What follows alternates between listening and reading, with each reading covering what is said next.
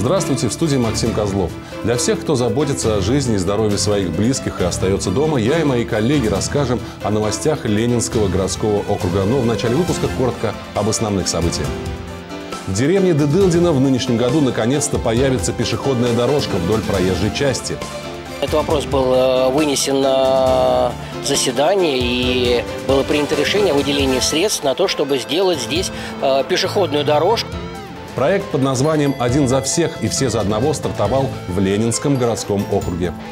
Включаются люди потихонечку, да, мы некий импульс даем для того, чтобы другие коммерсанты подключались. Сотрудники Центральной районной библиотеки онлайн проводят лекции и мастер-классы и советуют, что почитать. Ежедневно мы выкладываем в наши соцсети достаточно разнообразные ролики. В деревне Дедылдино никогда не было пешеходной дорожки. Жители не раз просили власти муниципалитета посодействовать в вопросе создания тротуара, но шли годы, а пешеходам приходилось, несмотря на опасность, двигаться вдоль проезжей части. Теперь Совет депутатов вынес решение пешеходной дорожки быть. Продолжит тему Татьяна Брылова. Вот так жители Дедылдина многие годы ходят прям вдоль дороги, потому как нет пешеходной дорожки, и это очень опасно. Писались письма, устраивались собрания, но на мольбы жителей никто долгое время не обращал внимания. И вот, наконец, этот вопрос оказался на повестке дня Совета депутатов. В Совет депутатов Ленинского городского округа обратились жители э, деревни Дедылдина и с просьбой о том, чтобы сделать им э, пешеходную дорожку. И действительно, э, этот вопрос не раз поднимался, и отрадно, что этот вопрос был вынесен на заседание, и было принято решение о выделении средств на то, чтобы сделать здесь пешеходную дорожку. Дорога в Дедылдино извилистая и не очень широкая, всего две полосы. Но этого вполне достаточно, загруженность ее не особо высока. В прошлом году был разработан проект, по которому будет отремонтировано дорожное полотно, плюс добавится пешеходная зона. А, тротуар пройдет по разным сторонам а, дороги, поскольку в некоторых частях под э, э, предполагаемым местом устройства тротуара проходят достаточно серьезные сети и газ, и электричество высокой мощности, высокого напряжения. Вот, поэтому проектировщики учли эти моменты и развели тротуар таким образом, чтобы он не мешал прохождению сетей. Планируется создать несколько пешеходных переходов, которые будут оборудованы разметкой и соответствующими знаками. Вдоль дороги уже сделано уличное освещение, поэтому по окончании ремонта она будет соответствовать всем необходимым требованиям. Финансирует работы муниципалитет. Из бюджета было выделено порядка 19 миллионов рублей. Жители очень ждут появления обновленной дороги. По договору, э, заключенному с подрядчиком, который ведет эти работы, окончание 20 э, июня. Общая протяженность отремонтированной дороги составит около полутора километров. Татьяна Брылова, Константин Брылов, Ольга Садовская. Видное ТВ. По постановлению губернатора Московской области Андрея Воробьева в регионе действует масочный режим. Вместе с тем населению оказываются меры поддержки. Какие, расскажет наш корреспондент Дмитрий Книга. В рамках борьбы с коронавирусной инфекцией в Подмосковье продолжает действовать масочный режим. Средства индивидуальной защиты необходимо носить в общественных местах. По инициативе губернатора Московской области Андрея Воробьева были закуплены медицинские маски, а их распространением занимаются активисты молодой гвардии. Уже на протяжении недели активисты Молодой гвардии «Единой России» помогают а, упаковывать комплекты медицинских масок от губернатора Московской области Андрея Юрьевича Воробьева для того, чтобы передавать жителям нашего муниципалитета, чтобы они могли защитить себя и своих близких и предотвратить распространение коронавирусной инфекции.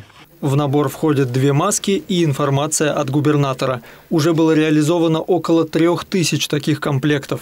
Для нас это очень важная и ответственная работа. А, главная наша задача – это сохранить здоровье наших жителей. Ребят в их деле поддерживают старшие товарищи, депутаты Ленинского городского округа.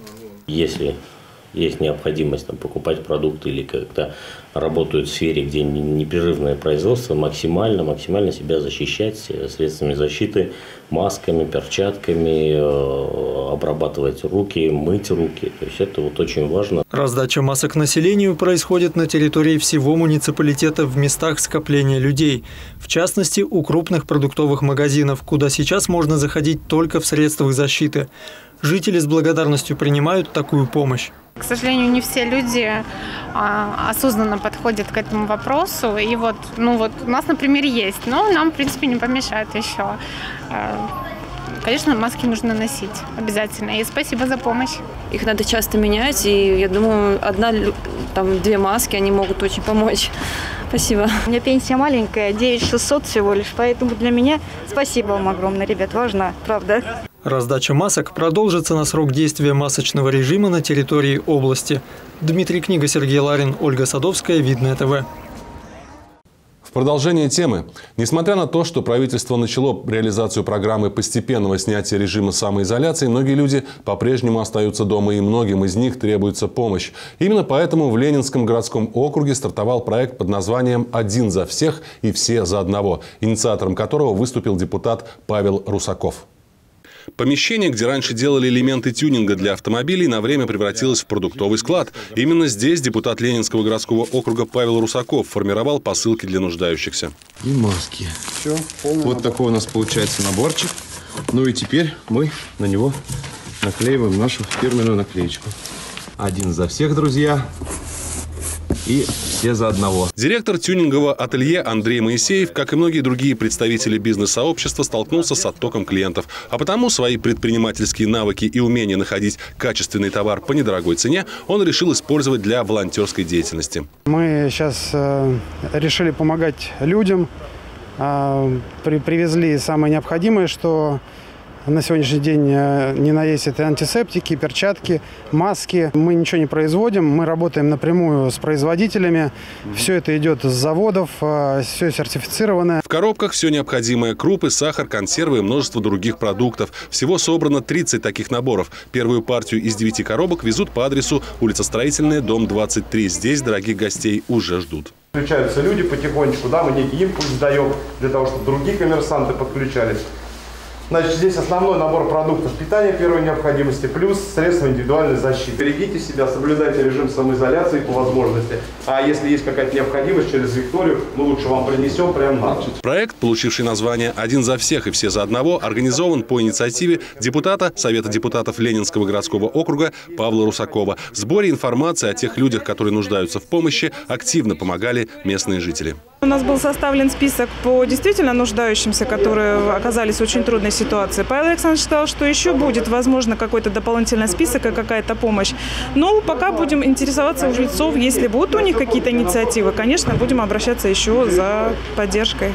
Еще одну коробку доставили Нине Александровне Каниной. 98-летняя пенсионерка не скрывала радости. Звоните, скажите, если что-то надо, я приду, всегда помогу. Хорошо, я Все. рада. Договорились. Всего вам хорошего, не болейте, соблюдайте режим самоизоляции. Депутат признается, что идея сделать собственный проект помощи нуждающимся пришла к нему, когда он в качестве волонтера помогал доставлять губернаторские наборы я запросил у общественной палаты, у волонтерского штаба список продуктов, которые входят в этот э, набор. И на основании этого пришла идея, посоветовавшись с коллегами, с коммерсантами, кто готов был поучаствовать, мы приняли решение, да, поучаствовать в этом. То есть, ну, основная база, конечно, личных средств, это я свои вложил, а, а частично помогали коммерсанты. Но они не только помогали средствами, кто-то помогал средствами индивидуальной защиты, кто-то покупал, вот, например, как а, видная нет-компания, руководитель, он а, деньги просто давал на лекарства людям, которые попали в очень сложную ситуацию, потому что реально мы оказались все в сложной ситуации.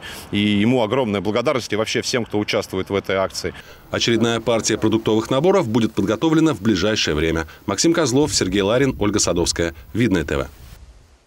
С началом режима самоизоляции все учреждения культуры перешли в онлайн-режим. Музеи проводят виртуальные выставки, театры показывают видеоспектакли, а сотрудники Центральной районной библиотеки советуют, что почитать. Об этом и многих других проектах в нашем сюжете. Обычно в Центральной районной библиотеке полно людей. Здесь проводятся выставки, концерты и театральные представления. В настоящее время работать в штатном режиме невозможно. Пока все остаются дома, сотрудники библиотеки реализуют свои проекты онлайн. Ежедневно мы выкладываем в наши соцсети достаточно разнообразные ролики. Эти ролики э, собраны в рубрике. Э, рубрики специально мы придумали отдельно. Они совершенно разные. Есть развлекательные, есть познавательные. Всего в данный момент в социальных сетях можно найти около семи различных рубрик. Одна из них «Прочитай». Из названия легко догадаться. В роликах сотрудники библиотеки рассказывают о художественной и научно-популярной литературе, а также делают обзор последних выпусков различных журналов. Всегда интереснее узнать, так сказать, из первых уст о какой-то книге, да, получить живой эмоциональный отзыв, нежели просто почитать его на каком-то сайте в интернете. Журнал «Родина». Ну, это главное открытие и пристрастие мое личное с этого года. Популярный исторический журнал. Его нужно читать от корки до корки. Великолепный стиль, содержание, изложение, фотографии. Ну, прекрасно все. Пространство «Библиоарт» существует в библиотеке и в режиме офлайн. Для гостей читают лекции о художниках, проводят мастер-классы по изобразительному искусству. Этот проект продолжает работу и в настоящее время в формате видеолекций. Одна из последних была посвящена знаменитой работе Альбрехта Дюрера. В 1514 году создана эта гравюра. И почему меланхолия? Да? Это, э, как мы знаем, один из э, людских темпераментов. Помимо познавательных сюжетов, сотрудники библиотеки выкладывают развлекательные ролики, так называемые библиоляпы, а также призывают читателей поддерживать форму, выкладывая видео с тренировками. Я думаю, что мы будем продолжать э, придумывать какие-то новые рубрики для наших читателей. Пожалуйста, э, заходите на наши соцсети, смотрите, радуйтесь и улыбайтесь. Александра Столярова, Ольга Садовская, Видное ТВ. И это все новости на сегодня. Оставайтесь дома, чтобы тем самым сберечь жизнь и здоровье родных и близких. С вами был Максим Козлов. До встречи.